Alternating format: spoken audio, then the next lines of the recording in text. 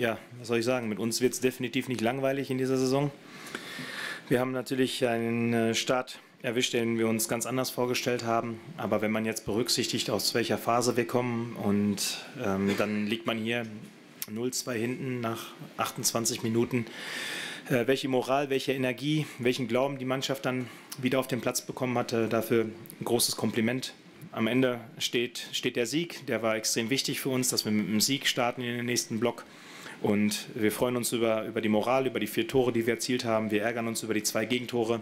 Und trotzdem war es heute dann wichtig, so, so eine Reaktion zu zeigen.